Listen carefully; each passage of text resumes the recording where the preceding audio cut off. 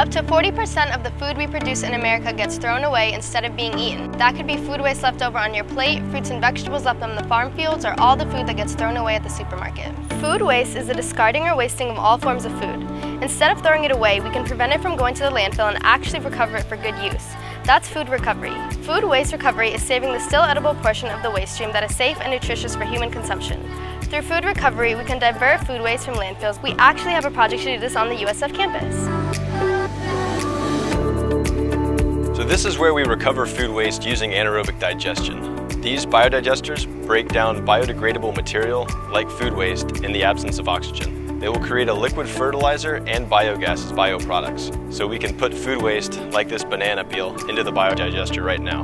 What we're trying to do is to promote a sustainable campus. We divert the food waste and instead of going to the landfill, we put it in these biodigesters and it creates other products that we can reuse like the fertilizer and the biogas. We actually got USF funding from the Student Green Energy Fund to start a pilot project to do this, but we really need everyone's help.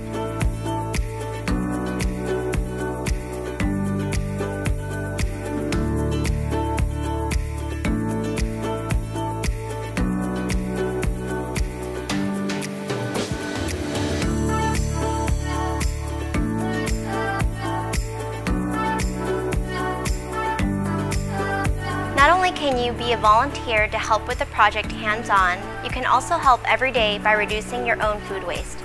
Our ultimate goal through this project is to move one step closer to making USF a zero waste campus.